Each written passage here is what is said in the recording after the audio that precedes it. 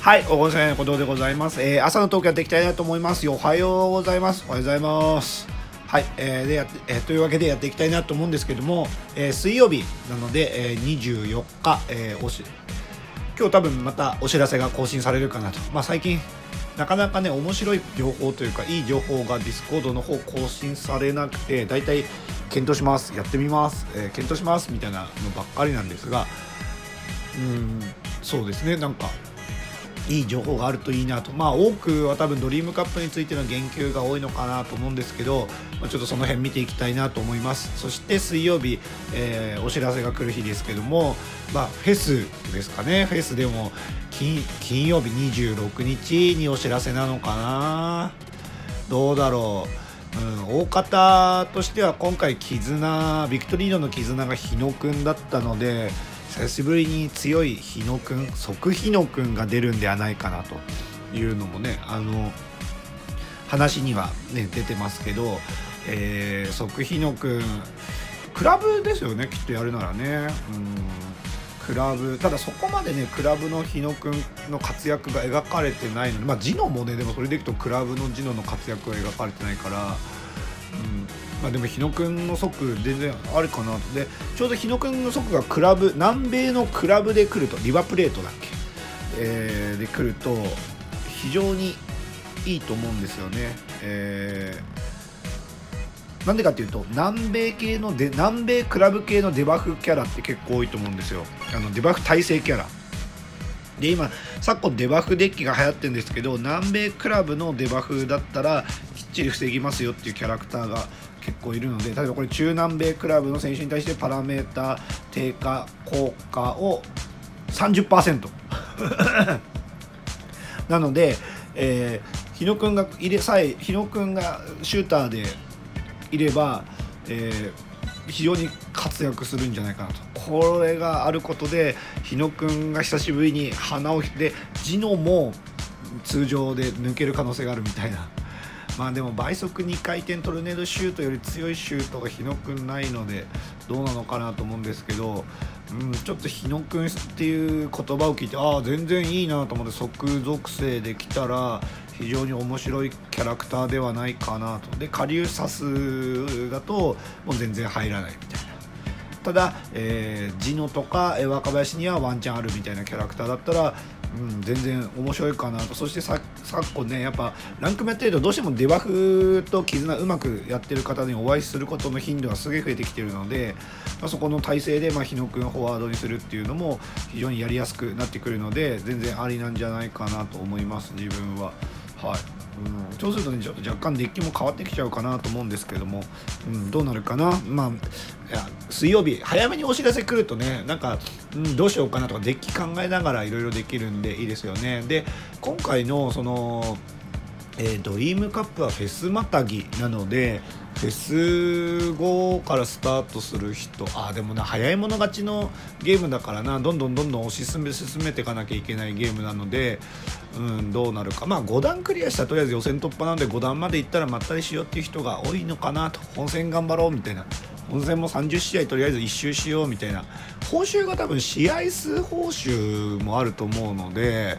その辺見ながら、まあ、その順位報酬というよりは、えー消化報酬の方を注力する人が多いのかな。はい。なかなかね2月そうまあでもやれる人はね今回非常に楽しみな人多いんじゃないかなと、まあ、ドリームチャンピオンシップ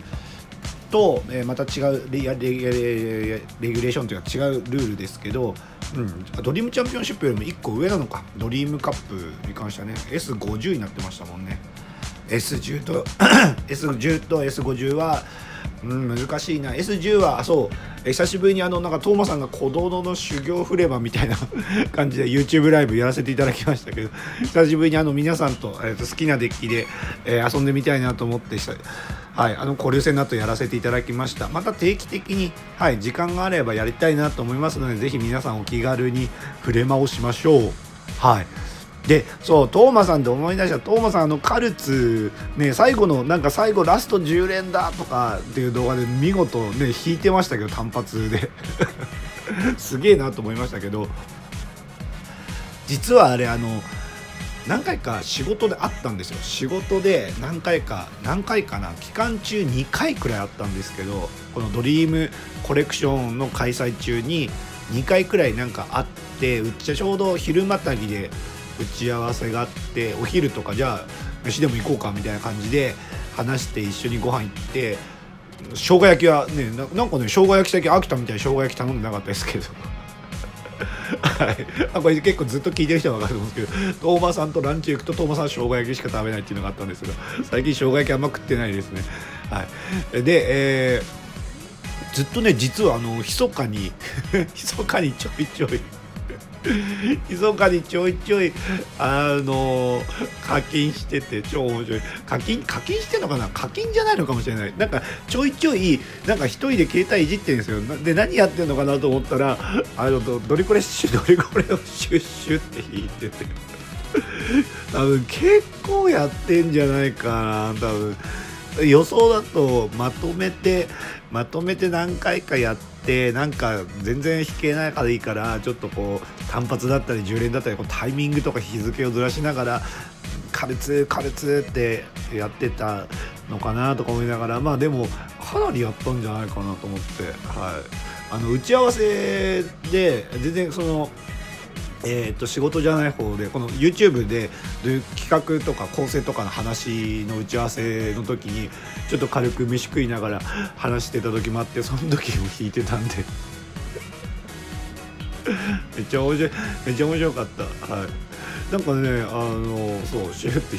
弾いててで出ない出ない。出ないっていうか無言なんですよ。何やってるか分かんなくてちょっと画面見たら乗りこれ弾いてんだと。でまたねなんかでなんかたまたま最後の10連だけなんか動画に撮影したみたいで。面白いなと。あの過程がないとねなんかなんで10連で弾いてんのかよみたいな感じで見えるかもしれないんですけどあれ実は相当やってますからねめちゃめちゃ面白いなと思って。うん、なんか欲しくなる時ありますよね、はい、そそこそれで言っちゃうと。あのなんかなんかこのキャラ欲しいなっていう時がねすごい強い気持ちが高まるというか、まあ、自分なんかこの間の超フェスの翼はね、まあ、まあ翼くんが好きで強くて、まあ、結構人権になりそうだなっていうのがあって頑張りましたけどあのなんかそういうその工場とかでまあこのキャラ欲しいなみたいなとかってありますもんね、まあ、好き嫌いとかもあると思いますしあ好き嫌いというか好きなキャラクターっていうのもあると思いますしデッキに入るとラストピースが埋まってあのうまくね絆、まあ、今でいくと絆が、ね、組めてみたいな感じになって。まあでも最近だとキャラクターも増えてきて絆疲れしてる人は結構多いんじゃないかなと思って。なんかいちいちこの新しいキャラ出るたびにそのガチャ引くか引かないかの基準というのが今のメインデッキとかに絆がはまるのかはまらないかみたいなそういうまあうちも結構そうなんですけどね。この間のいい例が即の松山君出て、まあ、特にねうちのあのメンバーとか結構デッキが偏り系偏り系っていうかうんあのなんだろう、うん、なんていうのかな、まあ、自分みたいな自分っていうかそうね。まあ結構今回の即の松山君が入んない系のデッキの人が多くてそうそこでななマッツン面白そうなキャラクターだけど、まあ、取っとくっていうメンバーもいたしあの、まあ、全然自分もそうですけど自分も特にね、まあ、はもうはまらないし松山君5位に入れようとすると デッキの構成フル変わりしちゃうからまあまあいっかみたいになっちゃうんで。うん、だからその辺がねどうなん前だったらあ即で日本で松山だ欲しいってなるのがまずはそのどんなキャラクター出てもあ絆なんだろう絆の内容何かな みたいなそこから入ってしまうっていうか前は、うん、特技とキャラクターと属性と国籍とかであこれ入るから欲しいなっていうものがうん、キャラクターっていうよりは絆の内容潜在の内容次第で取る取らないが決まるようになってきちゃったのでその辺がね非常に疲れてくる。疲,、まあ、疲れるっていうかなんですかね。なんか、うん、パズルゲームのピースを探してるような感じなこれは運営さんもねだからやっぱ6月のね周年時も言いましたけどやっぱりこういう風な未来になるなと緩くはなってきてはいるって組みやすくはなってきてるけど結局ガチャを推進したいのが運営さんだと思うんですけどうん結果ねあこれ今のデッキに入んないからまあしょうがないかみたいな。まあ、あの余裕がある人とか夢玉待ってる人とかあのまあ、ただととりあえずないろんなのやるから取っときたい人っていうのも結構いっぱいいると思うんですけど、うん、その辺で自分はね最近もうやっぱりその冷めちゃう方なんですよね。だから見ての通りこの初めて結構初めてに近いくらい夢玉の 無償夢玉こんなにたまった1ヶ月ちょっとくらいから1ヶ月半くらいでこんなたまんだなとかいやすげえなっていう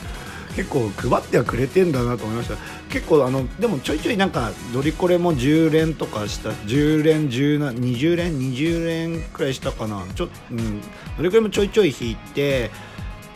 そうっすね。フェスはもうちょっと引いた。もうでも本当に十何連とか20連とかもう単発でちょ単発でぴょんみたいな感じぐらいで引いたりはしましたけどそれでもこれくらいたまるので、まあ、日々のあのやっぱ CM がついてからの3個は大きいのとですよね。大きいですよね。3個で90個たまるのとランクマの150個とあと日々のえー、1個とか2個とか貯めていくとあこのなんかあの貯めるのが楽しくなっちゃって最近。最近なんか貯めるの楽しいなみたいな感じで。まあでもねピュッてやったらすぐなくなっちゃうんですけど。はい。なんかだからそういうその今のデッキを大幅に崩さなくても強化できるキャラが出たら、まあ、取ればいいかなみたいな感じになっちゃってるんですよね。なんとなく気持ちが気持ちがそんな感じです。なので前よりもあこれもじゃあ取っとこうかこれも取っとこうかこれも取っとこうかとかってならなくなっちゃってまあ単純に絆と洗剤見てああうん合わない。かな、うん、今じゃあ入らないから、まあ、無理しなくていいかみたいな。まあ結構ゆっくりまあゆるりとまあ4周年も近いですし、まあ、疲れない程度にやっていけばいいかなみたいな感じで楽しくやれればいいなと思っております。はい。えー、まあそんなわけでえー、えー、っと今まあ水曜日お知らせ来てフェス来てというところでえー、どんな感じかなと見ていきたいなと思います。さあ、えー、また近くまあ今日水曜日よ水曜日にえっとフェスの予想来なかったらあフェスのお知らせ来なかったらまた当たらないフェス予想でもやっていきたいなと思いますので よろしくお願いします。というわけで、えー、いつもご視聴ありがとうございます、えー、よかったらチャンネル登録の方もよろしくお願いします。それではまた。